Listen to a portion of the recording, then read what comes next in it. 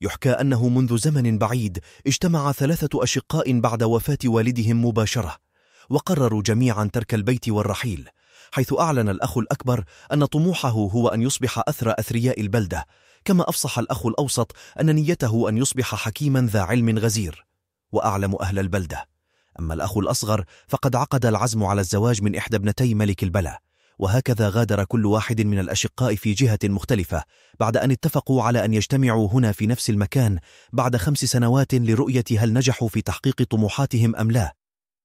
وبعد مرور السنوات الخمس عاد الأشقاء للاجتماع مجددا في نفس المكان المحدد فحضر الأخ الأكبر في موكب فخم وأعلن لأشقائه أنه حقق حلمه في أن يصبح فاحش الثراء وذو مكانة مرموقة في المجتمع كما حضر الأخ الأوسط يحفه العديد من تلامذته وأخبرهم أنه نجح في مسعاه وأصبح حكيما عليما لا يشق له غبار.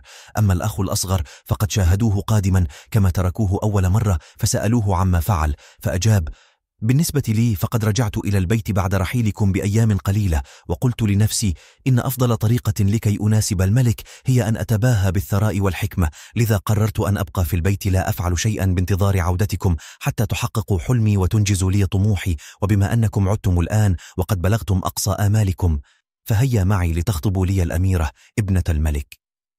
نظر شقيقاه كل منهما للآخر وفي عينيهما نظرات الأسف على شقيقهما الأصغر. لكنهما وافقا على اصطحابه إلى قصر الملك لخطبة إحدى ابنتيه. فلما حظوا بمقابلة الملك طلب منه الأخ الأصغر أن يزوجه إحدى ابنته. فقال له الملك وماذا لديك حتى تستحق أن تتزوج بأميرة؟ لدي شقيقان ليس في الدنيا مثلهما. أحدهما له من المال ما يغطي الأفق والآخر له من الحكمة ما لو وزعت على أهل البلاد لكفتهم. قال الملك إذا في هذه الحالة فقد قررت إصدار مرسوم ملكي يقضي بزواج الأميرتين إلى شقيقيك اللذين تباهي بهما. وهكذا تم زواج الأميرتين إلى الشقيقين اللذين هاجرا وجاهدا وأتعبا نفسيهما حتى ظفرا في النهاية بجميع الجوائز وإن كانت ليست ضمن خططهما.